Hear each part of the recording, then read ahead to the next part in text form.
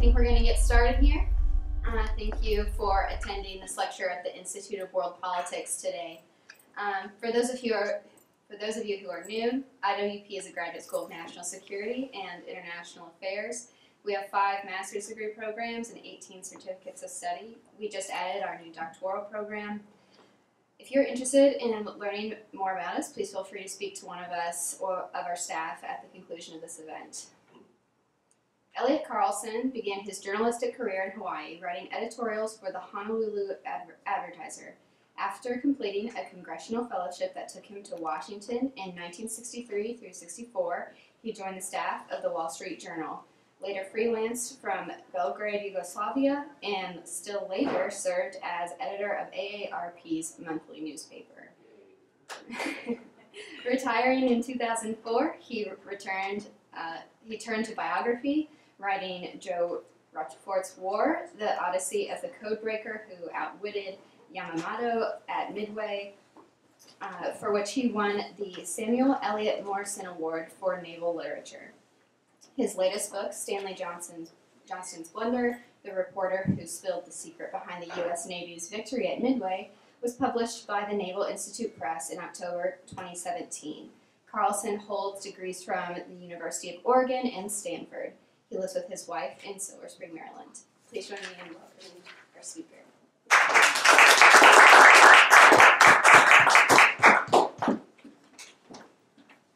Thank you very much for that introduction, which I wrote myself, actually. I want to uh, thank the Institute for having me in today, and uh, all of you for coming here to hear me when there are all these burning national security issues roiling the waters from North Korea to Syria to China, which is resurrecting Mao Zedong, I see. And I'm happy you're willing to volunteer to visit with me the security issues of World War II and 76 years ago. I will want, I do want to um, correct the, the title of this talk that was on the web as The Secret Behind the Navy's Victory at Midway. Actually, the correct title is although it's hard to read up there, Spilling the Secret Behind the Navy's Victory at Midway. Uh, this is a book, and this is a talk about a security violation, uh, or the violation of that secret.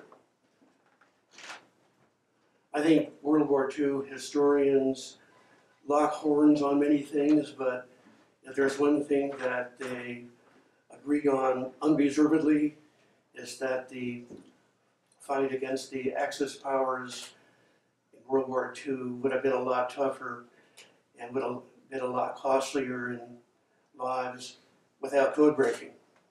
And that was particularly true in the Pacific, where in spring of 1942, uh, the American Navy, Navy cryptanalysts uh, cracked the main operational code of the Imperial Japanese Navy. And uh, that coup made possible uh, the Navy's first, yeah, possible for the Navy to deliver uh, Japan its first real setback in the war at the Battle of the Coral Sea, and a month later, in June 42, to deliver uh, Japan a stunning defeat at Midway.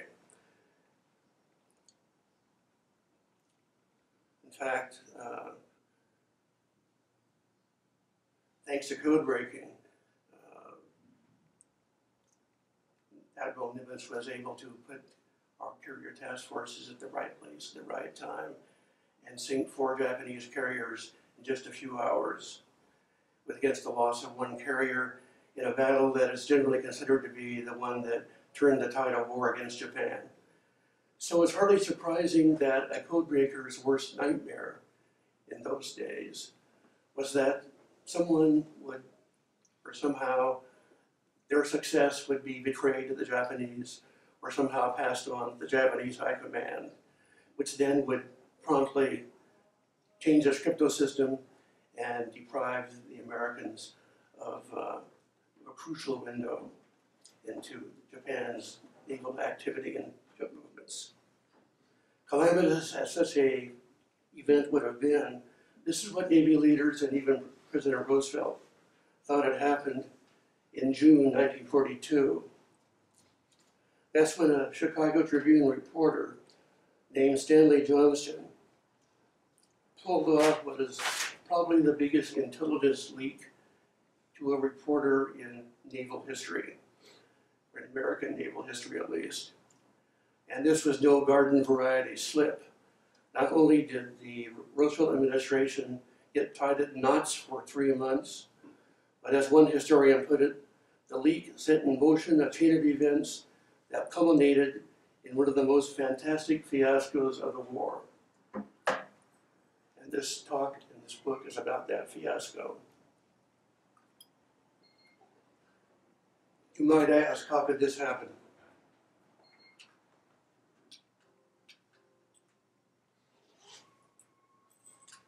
Ah.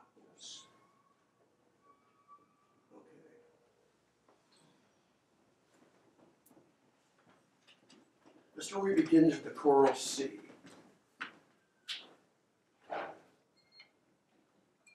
That great expanse of water east of Australia where uh,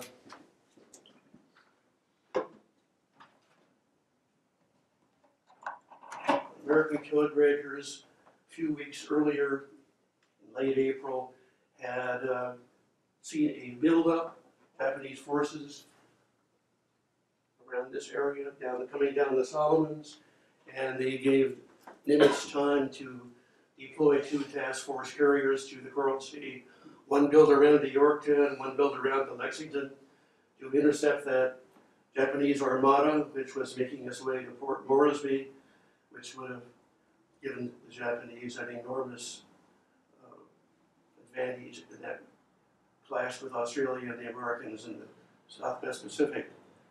And uh, the Americans succeeded. They did thwart the uh, Japanese in the Coral Sea, sunk a carrier, but it, that uh, victory came at a very heavy price.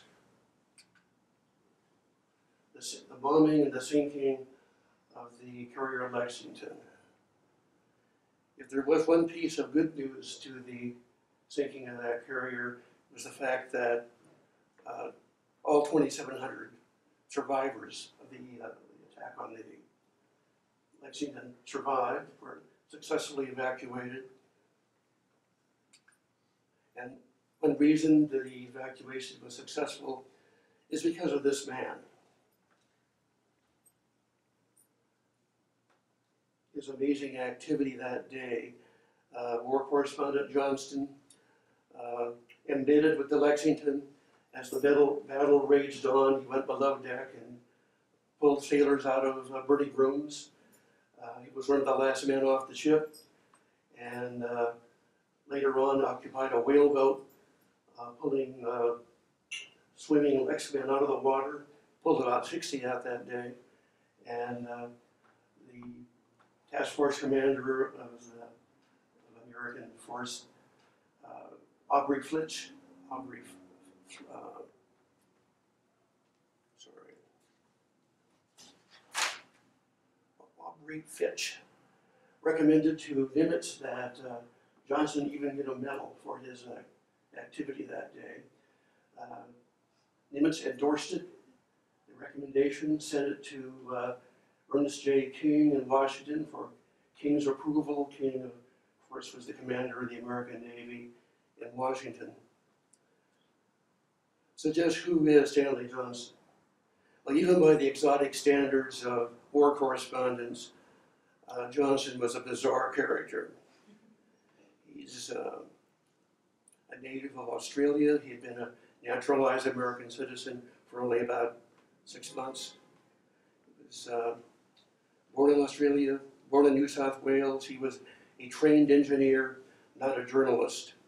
His experience in the news business probably didn't exceed much more than a year.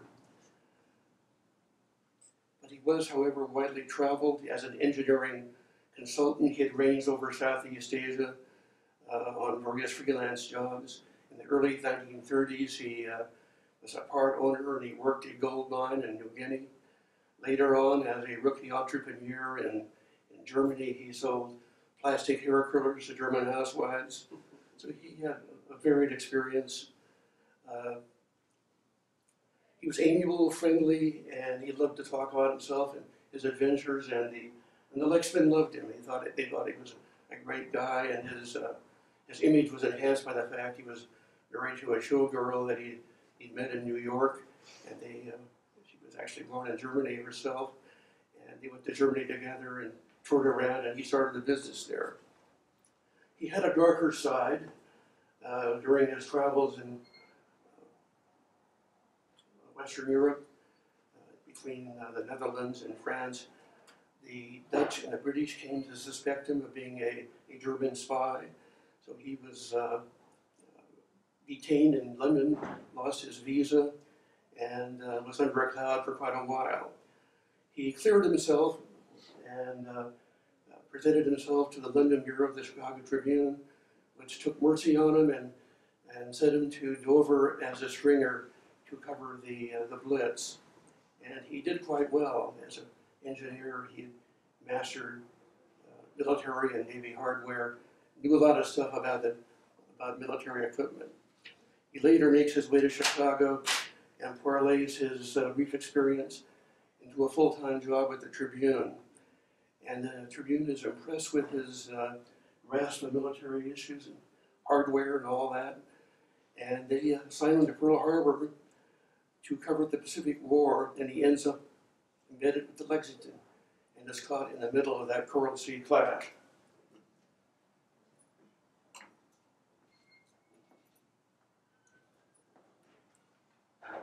Well, after that engagement, Johnson is among the 2,700 survivors taken by the rescue ships to Tonga Tabu.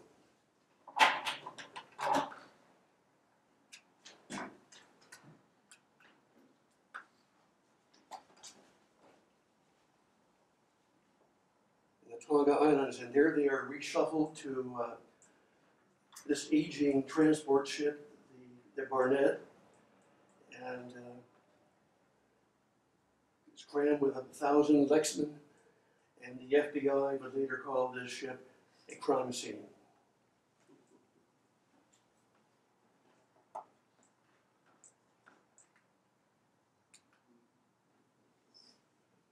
On May 19, it's about two weeks after the Battle of the Coral Sea, Barnett departs Tonga Tabu on his way to San Diego, where we'll deliver these men to, uh, to the mainland and to safety. But three days before reaching San Diego, on May 31st, the Barnett radio team intercepts this message from Admiral Nimitz. Uh, this message is, is not to the Barnett, but the uh, Barnett radio men uh, are under instructions to, uh, it's time to decode everything and deliver them to uh, Lexington for their edification. This is a, uh, Nimitz's heads up to all fleet commanders afloat on what's what's going to happen in Midway in just a few days. It's a uh, remarkable dispatch with the latest findings from uh, Station Hypo. Uh, Nimitz is being code-breaking unit on the mainland, uh, on, on shore at Oahu. And uh, it includes the name of 12 Japanese ships arrayed to attack Midway. The ships are arranged in three groups a striking force, a support force, and an occupation force. The information in this dispatch is momentous. It is derived from the, the Hypo team, which just earlier had identified Midway as the Japanese Navy's target. The finding gives Nimitz a remarkably detailed picture of the Japanese forces assembling. And uh, this message, with all this valuable information in it, is delivered to uh, the suite occupied by this man. This is uh, Morton Seligman. He is the executive officer of the Lexington and the highest ranking Lexington officer on the Barnett. He has a big suite. And uh, Seligman likes Johnston. They have become pals over the weeks. And uh, he not only befriends Johnston, but he gives him a spare bunk in this nice big suite. So Seligman's quarters are popular. Uh, it's the ship's watering hole. Lexington officers who are cooped up in various parts of the Barnett show up throughout the day to socialize, drink coffee, and catch up on the news. This is that suite. Uh, lots of stuff happens here. Uh, Johnson's bunk, bunk is here. And this is the table where uh, everything happens. That's the crime scene. The uh, dispatch that is brought in, dis- dis- dispatch known in the Navy circles as 311221, is brought to Seligman while he is sitting at that table. And uh, he, he does things he's not supposed to do. He uh, knows the men, he knows the men need information. And he uh, breaks his own rules, breaks Navy security rules by sometimes reading aloud from these messages.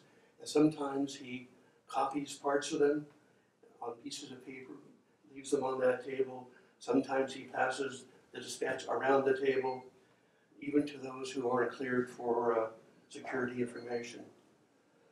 But Johnston is always there. He's always walking around. He's socializing. Everybody likes him. Although they are now a little bit being a little suspicious about it. They know about these secret dispatches, and they see Johnston, and some of them actually scratch their head and wonder if Johnson should be there. But he's uh, he's always within earshot of the officers. This room, you might say, is a reporter's dream. Well, into this bustling mix, uh, Nimitz' dispatch arrives, and uh, later tells the FBI he has no recollection of ever seeing this particular dispatch. Uh, but other officers who are at the table and remember that day have a different memory. They recall seeing a little piece or, or a large piece of uh, blue line paper on that table. And they notice that it has on it 12 Japanese ships, all, excuse me, uh, divided in three groups, a support force, striking force, and an occupation force. What they're looking at, of course, is a copy that the Navy later surmises and the FBI surmises that Seligman carelessly has copied onto that blue line piece of paper and left it on his table. And the officers who uh, see it there uh, see Johnson in the room, but they admit later on that they lose track of that piece of paper. They don't know what happens to it, it disappears.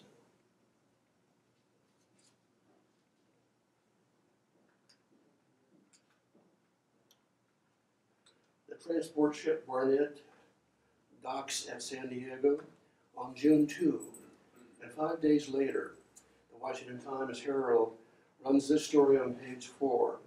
It is a story read by Admiral King in Washington, what catches his eye is that headline that the U.S. Navy knew in advance about the Japanese attack. And then he is shown this paper, the Sunday Chicago Tribune. Of course, it has the, the good news about the uh, America's defeat of uh, Japan Midway. They don't have all the carriers there, but it's it as a huge victory, as it should be. But in the middle, King can't help but notice, everybody, everybody in the Navy Department notices that story. It's the same story that King read in the Washington Times Herald, where this time it has a Washington date line on it.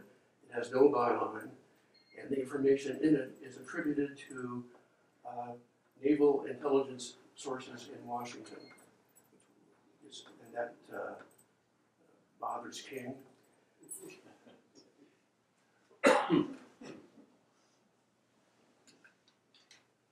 King now does what he is famous for doing. He blows up. He was notorious for having a low boiling point, and those who were on the scene at that time say he, this, this eruption was one of King's most violent reactions during the entire war. The headlines were bad enough, but even more infuriating to King was that the information in the two stories essentially the same story. Exactly paralleled Nimitz' dispatch of May 31st. The same 12 ships in roughly the same order, the same misspellings, and King believes there has been a horrendous, potentially catastrophic leak. Now, the story didn't say that the Americans had broken the Japanese code, but the Navy's admirals, King and his colleagues believe that any intelligent reader will come to that conclusion. And they fear the story will find its way to the Japanese and cause them to change their code and install a new code that would take months to break if it could be broken at all, and therefore deprive the Americans of a priceless advantage in the Pacific War. So one admiral, he was Admiral Savvy Cooke, a very sassy guy King's staff, uh, calls the publisher of the Chicago Tribune, that was Robert McCormick, a traitor. And he declares that uh, this admiral should be uh, prosecuted, put behind bars, tried for treason. Well, King isn't the only official who's boiling mad. So is President Roosevelt. The arch-conservative McCormick has been a thorn in FDR's side since the beginning of the, of the New Deal. Uh, the Tribune has editorialized that, uh, that the New Deal is a, is a conspiracy to subvert the American way of life. The, Tribune supports the America First Committee, which uh, wants to keep America out of Europe and Asia and uh, uh, play, no role in helping these countries defend themselves from uh, Axis power aggression. Uh, The Tribune even, whoops, the Tribune even uh, calls FDR a warmonger. So by June of forty-two, Roosevelt has had enough. He tells his staff he wants McCormick prosecuted and put behind bars. Roosevelt orders FBI Director Hoover to mount a massive investigation into this leak. And Hoover launches a probe to uh, find out how the Nimitz' message passed from Navy hands into Johnson's hands. Because by this time, nobody has any doubt that it was Johnson who wrote the story. Uh, King has confirmed that Johnson was on the Barnett when it docked in San Diego. So that's a foregone conclusion. Uh, Johnson is singled out as the culprit of this. And in fact, that is correct. He is the guy who wrote the story. And uh, so G-Men fan out across the country. They interview uh, Barnett and uh, uh, Lexington survivors in at least 12 or 13 cities around the country. King's own probe ends as of Sunday, June 7. He's established Johnson as the author, and he has gotten very disconcerting news about Seligman's security habits. So uh, King is, uh, is, uh, is mad about a lot of things. And, uh, so King prevails upon McCormick, uh, strangely enough, to, who's actually kind of cooperative, to send Johnson to Washington to be grilled by King's admirals. And Johnson shows up the next day, June 8th, one day after the story appeared. And he tells admirals two different stories at two different meetings. First, he denies that he saw Nimitz' dispatch or saw any list of Imperial Navy ships. He says he got all his information out of Jane's Fighting Ships, which is a ship encyclopedia, which he says is his Bible. He reads it all the time and carries it around, and, uh, and his own vast knowledge of the Japanese Navy. Well, the admirals roll their eyes when they hear this, and they dismiss him. So when Johnson hears later from his uh, Tribune colleagues that the admirals didn't buy his story, he returns to the Navy Department later in the day, and he sees King's chief of staff, this is Admiral Russell Wilson, and he tells Wilson a different, story.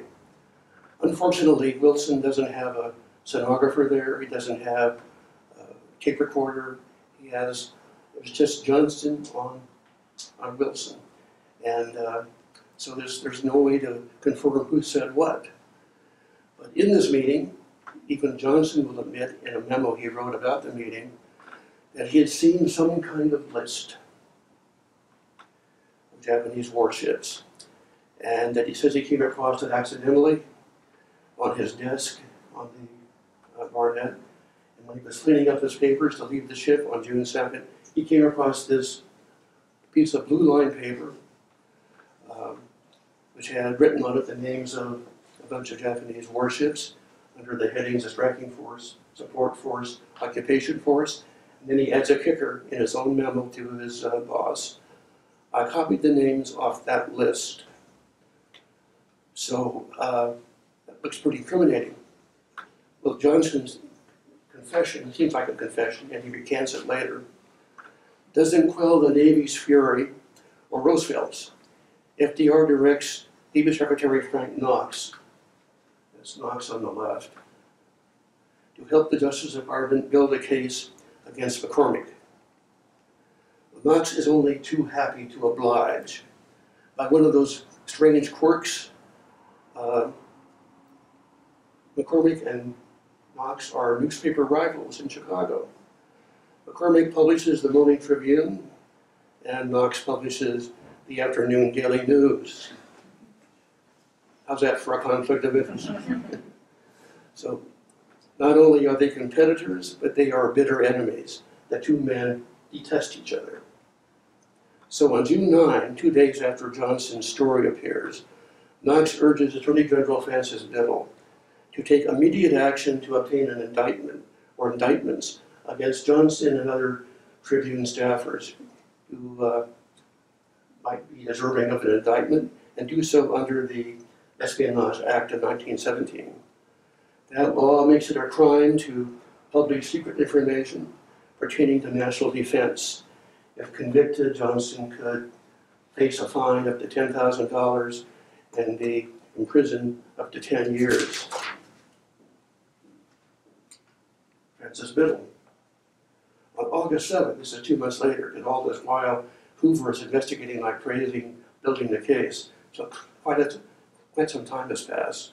But in August 7, uh, Biddle convenes a grand jury in Chicago to investigate the publication by the Tribune and client papers of confidential information concerning the Battle of Midway. Uh, this probe will mark the first time, and will be the only time in American history, that the Justice Department has sought to prosecute a newspaper or reporter for violating the Espionage Act by printing leaked classified information. So it's a milestone. Biddle recruits William Mitchell, a prominent New York lawyer, and a former attorney general under President Hoover to oversee the case. Mitchell agrees to take the case but on one condition, and that is that he will be able to present the grand jury evidence or witnesses who will attest to the, uh, the damage done to national security by the Tribune article. Well, he is assured, Mitchell is assured by Biddle, who has been assured by Frank Knox, who swears he has it from Admiral King, that Navy cryptanalysts based in Washington will appear in Chicago to appear as witnesses to attest to the damage done to national security by the Tribune story. The trouble is, by the time Mitchell starts taking testimony from witnesses on August 13, Admiral King and his sub admirals have had a change of heart. They've had second thoughts about the advisability of proceeding with this matter. They think if by chance the Japanese miss the original story, they will not miss the furor that would surround a public trial. And their concerns are reinforced by all the media attention this matter is now getting. And their anxiety mounts when radio gossip commentator Walter Winchell talks about stuff he is not supposed to know about. He talks about on one of his radio shows uh, the role played by intercepted messages in a recent naval battle. Nobody's supposed to know that. Well, King fears this type of coverage will escalate should there be a trial. Worse is yet to come. When Biddle convenes the grand jury, the Tribune counterattacks. It launches a series of sharp hard hitting articles accusing Biddle and, and Knox of having bad motives, of playing politics, of being driven by uh, the worst kind of partisan motivation, and in the case of Knox, acting out of greed, desire to get rid of a rival. Lawmakers debate the case in Congress. The story is nationwide news. The whole Johnston affair has turned into a media circus. The circus atmosphere is heightened when during the third day of grand jury testimony, Johnston and Trib managing editor J. Loy Pat Maloney, and Maloney is also a target of the Justice Department, show up at the courthouse uninvited and they plead for a chance to address the grand jury. They beg that they be allowed to tell their side of the story. And at first Mitchell turns them down. They, they weren't supposed to be on the agenda. But Mitchell, a day later, rethinks that decision, says, well, maybe I better bring them in. And they come in on August 18. They tell jurors they intended no harm. Uh, As far as that, that list that Johnston says he wrote down, he says, it was just a couple of names, but I already knew all those ships. I just wrote it down to check the spelling. I was already well aware of all those ships. And uh, it was not news to me. It was, it was nothing at all. Don't pay any attention to that story about the list. And uh, they say their motivation in running the story was to uh, reflect glory on the American Navy. That was what they wanted to do. And uh, um, excuse uh, Maloney is there because he's the guy who edited the story. He uh, put the Washington Dateline on it. He attributed it to uh, naval intelligence in Washington. And then he uh, skirted the censorship. A, a whole different subject here is a censorship system that existed back then. And uh, the story was required to be uh, reviewed, and it was not reviewed. It was 11 o'clock at night, and Maloney just shoved it into the paper, and uh, he, he looked up and read the, uh, uh, the provisions under the, under the censorship code. It says, this story doesn't apply, it's different. And um, what the jurors thought of these two men, they never said. They were waiting for a bigger testimony from um, key witnesses. Those that were expected the next day on the 19th.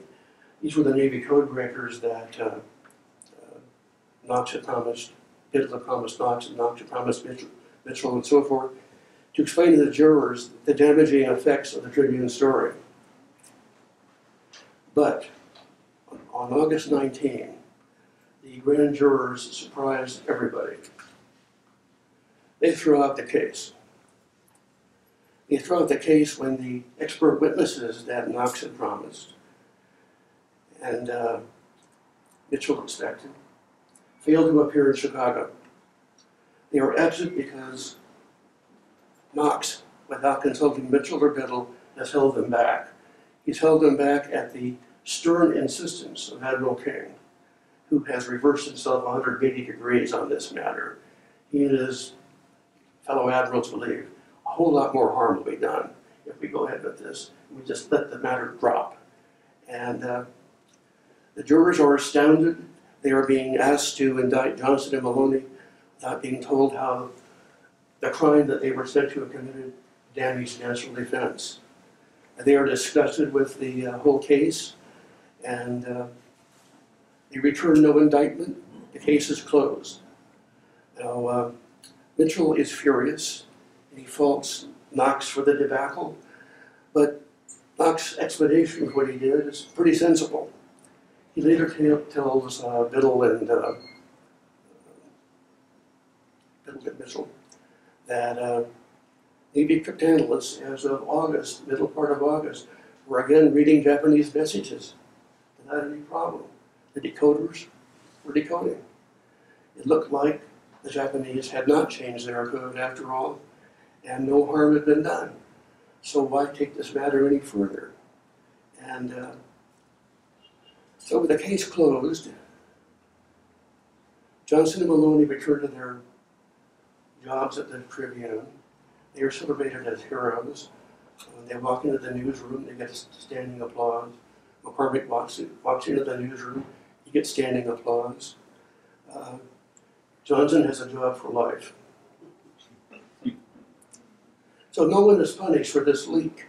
The the only loser in this case is Commander Morton Seligman, who has incurred King's wrath and is blamed by King for lax security that permitted Johnston to obtain Nimitz' super secret dispatch. So Seligman never again serves in a combat zone.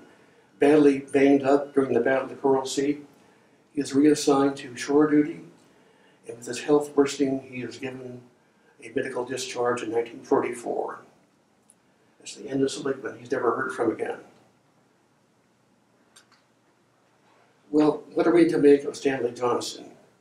Does his story have any larger meaning? Does it relate to anything going on today? The case certainly provides a fascinating glimpse into the politics and personalities of the Roosevelt administration. Also, if nothing else, it seems to me, Johnston emerges as a kind of pioneer. His brush with criminal law foreshadows the far more adversarial relationship between journalists and the government that we have today. And you might say that his uh, case begs comparison with big league leakers today. One thinks of Ellsberg and Snowden.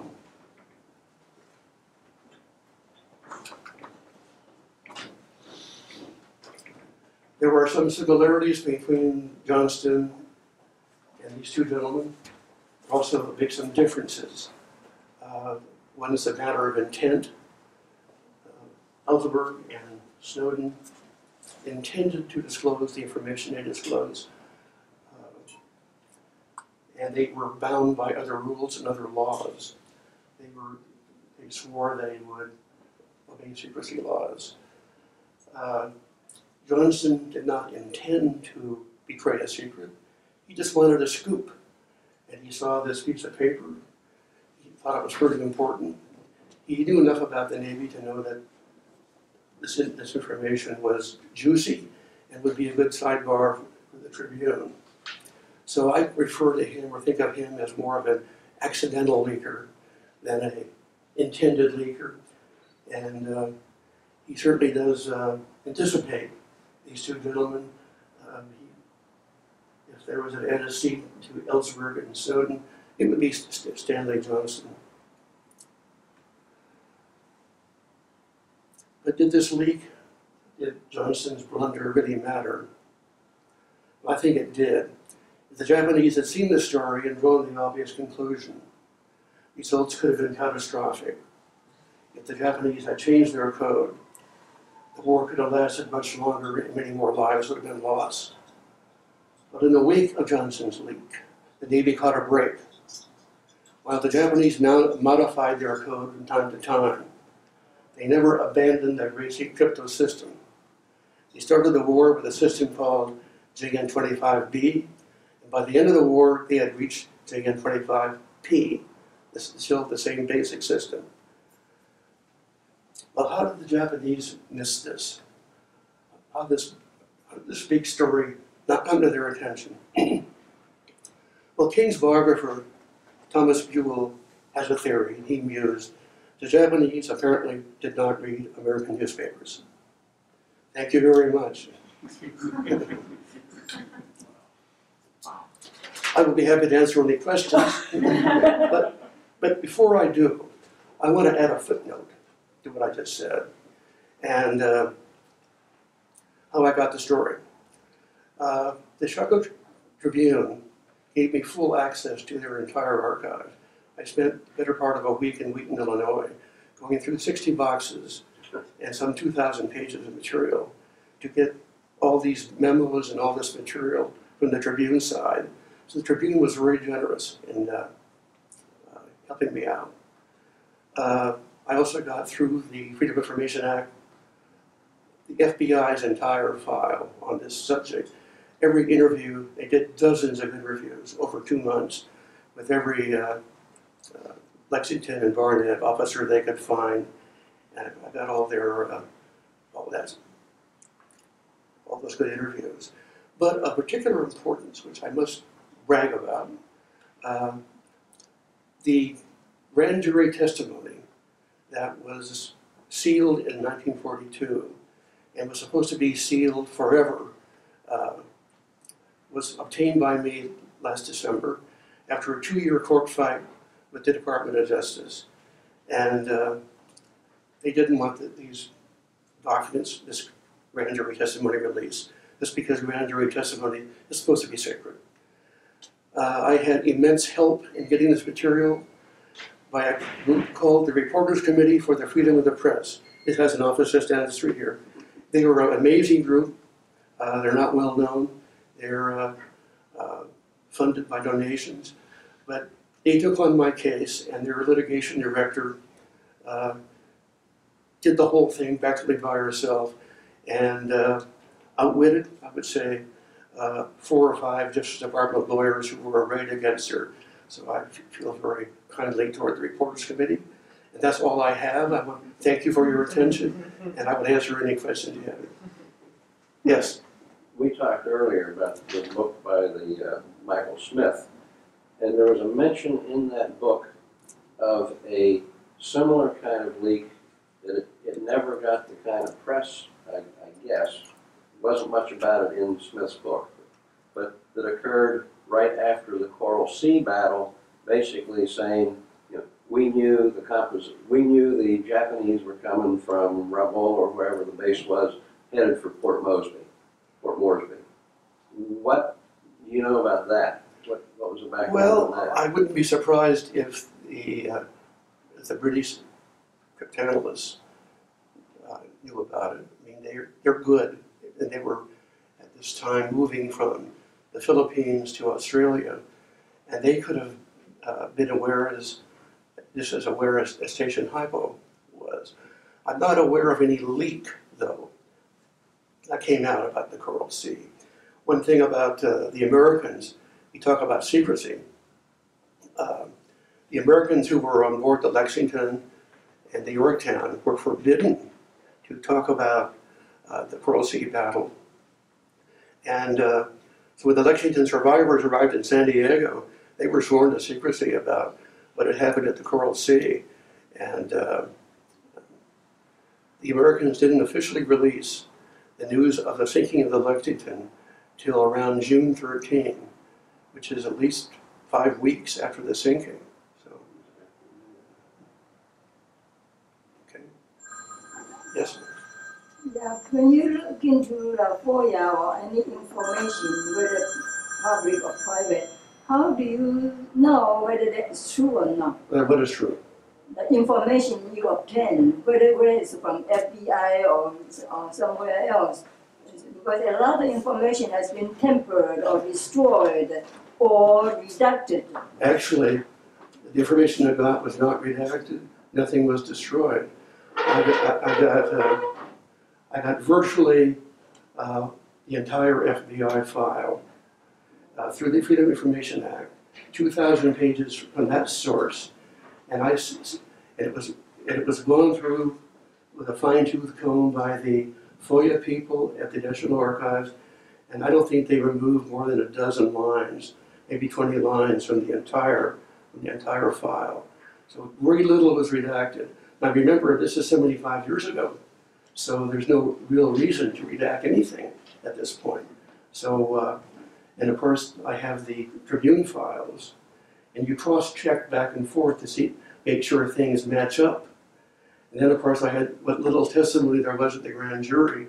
You take that testimony and match it up with your other sources. And if they all match, you're pretty close to having something resembling the truth. So uh, I believe that this is a correct story. Yes, well, I certainly don't want to flog a dead horse, but I think that raises raises a very interesting question was why they did redact those very few lines. why did what? You said that in the end they did redact a few lines Oh, yeah. just now. I mean, that just Right. raises a whole new set of Yeah. questions. Why in the world did they do that now? You know, it's, it's an odd thing. Uh, one thing they redacted was um, Frank Knox's letter to Mitchell and uh, uh, to William Mitchell.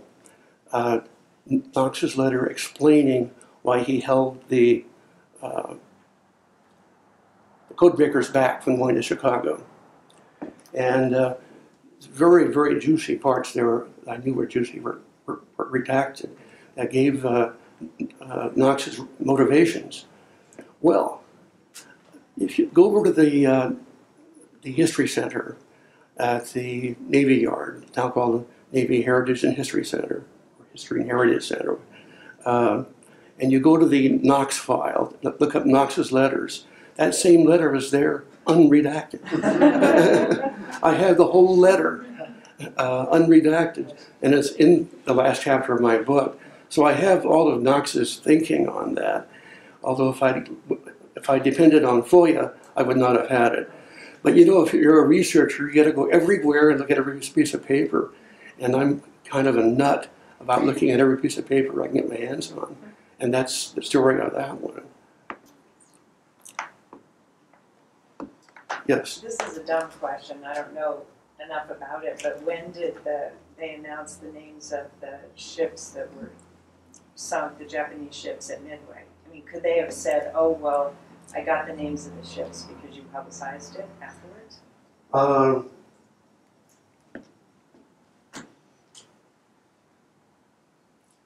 could Johnston have said, I was simply reading official announcements? Yeah.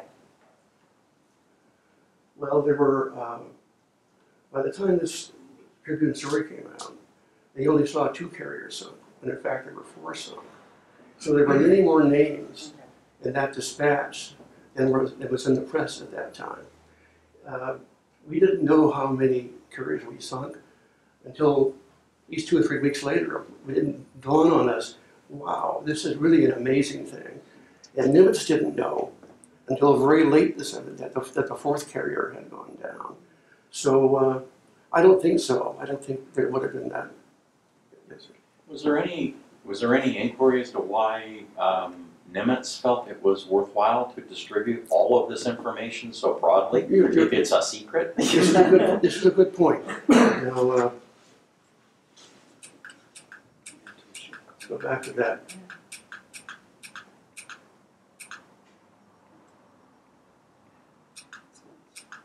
There, uh, it's damn secret. Uh, that should tell somebody something, that this is not to be circulated, not to be, uh, But that's, that's not the highest uh, level of secrecy though. I mean, is it? I mean, As far as I, listen, when I was doing a book on Rochefort a few years ago, I went through dozens of CINCPAC dispatches, and I never saw one stamped top secret. As far as I know, this was the highest classification available to Nimitz. Now, I don't know why it should have made a difference if it was stamped, stamped top secret, because secret is still secret. Um, but as far as I know, this information couldn't have been any more sensitive than this. You couldn't have anything more sensitive than this. And that was the classification available. Um, So I don't really have a better answer to that, to your question. I thought what you were gonna ask me, why did Nimitz even put out that dispatch in the That- first place? that was my question. Okay, Yeah, why, why, why was this distributed? Why not just deliver that Yeah. information directly to, The uh, Sprague, yeah, People in the yeah, he, he, he wanted to give his, uh, Halsey and those guys. his commanders afloat a heads up on what was gonna happen in just a few days. He wanted to make him aware, I know it's, He wasn't afloat, he was sunk. and uh, he thought he was, he thought he was uh, communicating on a secure line. Now, the, the Barnett was not an addressee of this message, but when Seligman and the Lexington came on board the Barnett, uh, Seligman talked the captain of the Barnett into letting his, his own radio men uh, work in the radio room and do the decryption of CINCPAC messages so he could keep the Lexman up to date on news. And uh, overdid it. He, by several light years. And uh, but normally that the Barnett had been left to his own devices wouldn't even have bothered with this message. He would have noted it was there, not addressed to him, and he would have, as he told Seligman originally, I don't have enough staff to decode all these messages. And Seligman said, I'll give you my staff. I'll give you my radio man. So this was addressed to all task force commanders, was, what, how many, how many task groups were there? You know, I don't know. I don't. I. Uh, I don't know how many there were. Uh, not a heck of a lot. Not all that many. Uh, there was uh, one up in the Aleutians area. There might have been a couple of others, but there weren't that many. Uh, I, I really don't know why he felt he had to put this out. I think it, it could have been dispensed with. This is, uh, yeah, this is Nimitz trying to be a, a communicator, keep his uh, people up to date, what was going on. He wanted to put them in the put them in the picture, and this was his way of doing it. And he he probably overdid it. And in fact, King wrote, uh, uh, bring out in the book. Um, King wrote Nimitz a very sharp note, a very sharp memo, uh, saying that you're going to have to upgrade your, your security sensitivity and uh, use a different uh, um, radio stream because this stream uh, that you use blasted disinformation all over the United States. So uh, King did take Nimitz to, to task. One of King's strong points is that unlike many uh, top admirals, he was a strong believer in code breaking. He was a complete champion of uh, cryptanalysis and he was just horrified by this whole thing. And, uh, but uh, her question's a good one. So obviously, no one was following the need to know principle. Yeah, uh, we still do the same thing. yeah, I mean, look at Snowden and Manning, two mhm, relatively low-level people right. That had access to way more information than they needed. Uh, King didn't think it was going to low level. I mean, Nimitz didn't think it was going to low level people. He thought it was going to his, his admirals, his commanders, task force commanders around the Pacific. Not all that many. He used the word task force commanders afloat, not those who were ashore. So this is pretty safe. And some of them might be brought into the, uh, um, into the game. Now, of course, among those who would have gotten it would have been Frank Jack Fletcher, uh, Yorktown. Uh, Mitchell. the battle hadn't happened yet. Um, Pitcher would have got it. Um, Halsey would have got it. Um, Spruance, is that pretty much? Spruance at this point hadn't been elevated to uh, replace Halsey, but you can say possibly Spruance because he was uh, uh, commanding cruisers with Halsey's team. So a relatively small group, and yet this, this fleeting message passes through the Barnett's radio system, and uh, the, they, the radio men copy it. They put it in a loose leaf notebook, cellophane over everything very safe. They deliver it to uh, Seligman's suite, and the watch officer is supposed to, in theory, supposed to stand and watch and uh, make sure that uh, he's not supposed to let that message out of his sight. And but Seligman outranks that guy, and uh, can do whatever he wants to do. And the, uh, the Navy officers who were there, some of whom were appalled by the carelessness of this, uh, looks see that uh, Seligman's gotten very promiscuous. And it was Seligman's initiative that led the captain of the Barnett to let his own guard down and let these items be circulated, not just to Seligman, but to three other uh, top officers on Seligman's crew, the, the uh, engineering head, the communication head, uh, the aviation head of, of what had been the Lexington team. And so the watch officer goes all over the Barnett with this loose leaf notebook and shows them, and they have to initial it, they all initial it. And they bring it back to the radio room, it's supposed to be burned. And in this instance, they don't burn it, they put it in the safe.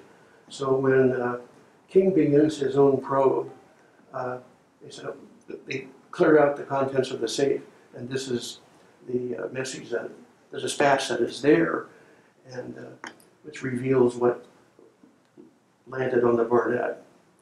But it has Seligman's signature on it, so he admits, I must have seen it. And uh, he doesn't remember seeing it. But he was terribly uh, banged up, and uh, his back was was destroyed really. And uh, so, so after the war, or I'm not, I should after uh, the Coral Sea, after Midway, uh, King puts him in charge of the Aviation, Naval Aviation Center in Peru, Indiana. Peru is a pretty long way from the Pacific, so he can't do any harm in Peru.